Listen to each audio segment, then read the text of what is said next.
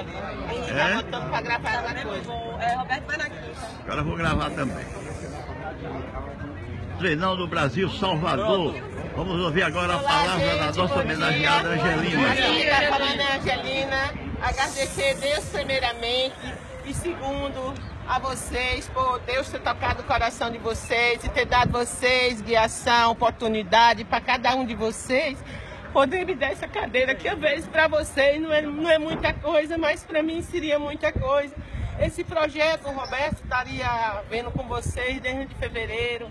A gente se conhecemos, eu já me conhecia, mas aí a gente teve a oportunidade de sempre um domingo eu estar com ele no meu trabalho.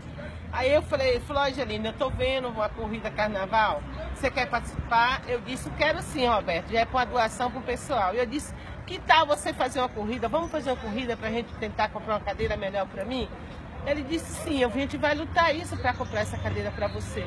E através de Deus primeiramente e a guiação primeiro foi dele. Então, Roberto, eu tenho que agradecer muito pelo que você fez com os companheiros para poder me dar. Para vocês não se torna muito, mas para mim se torna uma joia muito rara, porque isso aí é minhas pernas, isso aí é que eu ganho meu pão de cada dia.